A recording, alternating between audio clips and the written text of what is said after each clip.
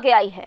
आपको बता दें कि महासभा के कार्यकर्ताओं द्वारा, केंद्र सरकार द्वारा लागू किए गए कृषि कानून के विरोध में प्रदर्शन किया गया। बता दें कि कानून का विरोध दर्ज करते हुए बैलगाड़ी रैली निकालकर विरोध दर्ज करवाया गया। कार्यकर्ताओं ने सड़कों पर उतरकर केंद्र सरकार के कृषि कानूनों को किसान विरोधी बताया। इस दौरान कहा गया कि कृषि कानून किसानों के हितों के खिलाफ है।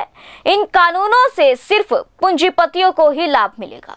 उन्होंने कहा कि आज देश का किसान दिल्ली में कई दिनों से आंदोलनरत है, लेकिन सरकार किसानों की मांगों की ओर कोई ध्यान नहीं दे रही है। किसानों और सरकार के बीच कई बार बैठकें भी हो चुकी है, लेकिन सरकार जानबूझकर इन कानूनों को रद्द नहीं कर रही।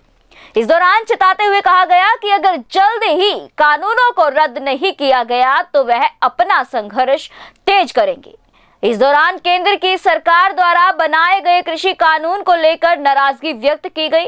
बता दें कि महासभा ने कानून का विरोध दर्ज करते हुए बैलगाड़ी रैली निकालकर विरोध दर्ज करवाया है। इस दौरान सरकार के खिलाफ जमकर नारेबाजी भी की गई। इस दौरान सुरक्षा की दृष्टि से भारी पुलिस दल भी तैनात रहा। बाद में प्रदर्शनकारियों द्वारा एसडीएम रानी वाइट को राष्ट्रपति के नाम भी ज्ञापन सौंपा गया। ज्ञापन में पूर्व जिला पंचायत सदस्य झमक लाल सरेआम ने बताया कि केंद्र सरकार देश के किसानों के साथ अत्याचार कर रही है। केंद्र सरकार ने किसानों के लिए जो कानून बनाया है, वह काला कानून है। इस कानून से किसान बर्बाद हो जाएगा। उन्होंने मांग की है कि तीनों कृषि कानून सरकार वापस ले मक्का खरीदी का समर्थन मूल्य अठारह रुपए किया जाए। समर्थन मूल्य पर गेहूँ खरीदी के लिए तत्काल पंजीयन प्रारंभ किया जाए। पेट्रोल, डीजल, खाद्य तेल और गैस की बढ़ती कीमतों पर रोक लगाई जाए। तेज़ी से बढ़ती बेरोजगारी के लिए राज्य एवं केंद्र सरकार भर्ती प्रक्रिया प्रारंभ करे।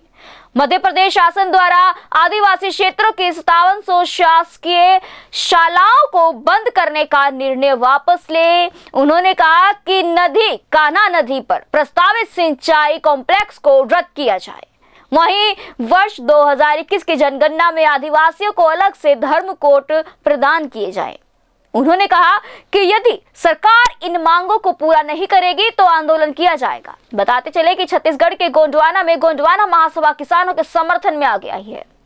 महासभा के कार्यकर्ताओं द्वारा, केंद्र सरकार द्वारा लागू किए गए कृषि कानून के विरोध में प्रदर्शन किया गया। छिंदवाड़ा से संवाददाता राजेश दीक्षित की रिपोर्ट। द्वारा कलेक्टर कार्यालय के सामने आके महामहिम राष्ट्रपति महोदय के नाम पे कुछ मांगों से संबंधित एक ज्ञापन सौंपा गया है। ज्ञापन प्राप्त कर लिया गया है और उसी के माध्यम से महामहिम राष्ट्रपति महोदय के कार्यालय को यह ज्ञापन शासन के माध्यम से प्रेषित किया गया। ऐसे ही लेटेस्ट खबरें पाने के लिए बेल आइकन को क्लिक कर हमारे चैनल को लाइक शेयर एंड सब्सक्राइब करें।